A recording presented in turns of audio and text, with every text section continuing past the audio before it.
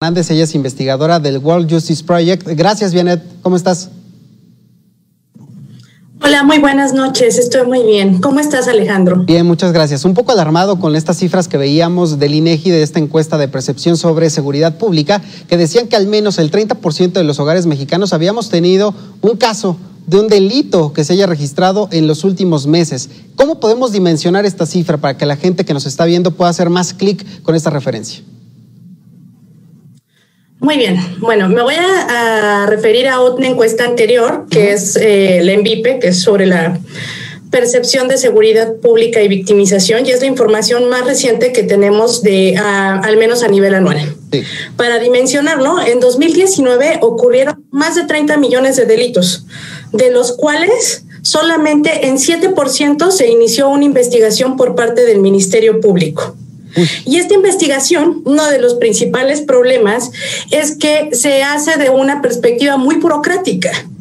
O sea, lejos de detonar un proceso en el cual las autoridades busquen a través de evidencia generar una explicación acerca del hecho delictivo, uno, para preservar a la víctima, y en segundo término, para poder llevar al responsable ante las autoridades y determinar cuál sería la sanción o castigo correspondiente, se genera un trámite en el cual no se da una explicación acerca de, cuál, eh, de cuáles son los procedimientos que se van a seguir y en el peor de los casos termina con eh, una determinación llamada archivo temporal, que significa no tenemos elementos para seguir investigando, así que lo reservaremos. Y normalmente esos casos están condenados al olvido.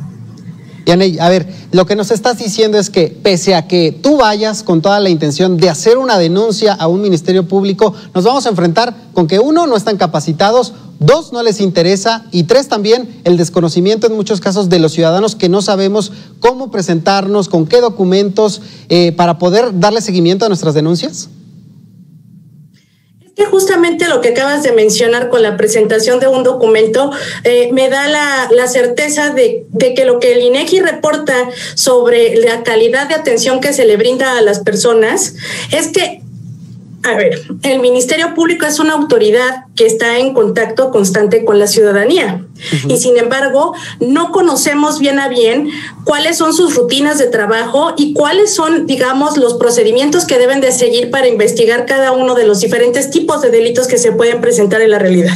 Y mucho esto no es culpa del ciudadano por sí mismo, es porque el Ministerio Público tradicionalmente lleva a cabo sus actividades en la más completa de las eh, oscuridades, al menos en desde la perspectiva del escrutinio público, y difícilmente puede rendir cuentas acerca de por qué toma una decisión para continuar una investigación o bien para pausarla. Esto no nada más es una responsabilidad de los ciudadanos.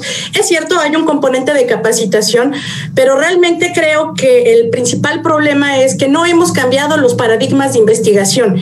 Creemos que ir a denunciar un delito es un trámite similar a abrir una cuenta en el banco, cuando no debe de ser así el Ministerio Público debe de responder de forma expedita, mandando como todos sus elementos para poder generar una buena investigación, tener los elementos, armar una historia y presentarlo ante el juez o ante la instancia que le corresponda, dependiendo de la gravedad del delito. Invitamos a la gente a que participe con nosotros con el hashtag México Inseguro. Y a propósito de esto, hay quienes dicen, bueno, quizá ustedes son demasiado severos con la administración actual. ¿Realmente es eso? ¿Tenemos una mala percepción sobre la Procuración de Justicia en este país? Pero esta mala percepción no solo es consecuencia del actuar de la administración actual, es como te insisto, unas rutinas que hemos arrastrado desde la herencia del sistema inquisitivo.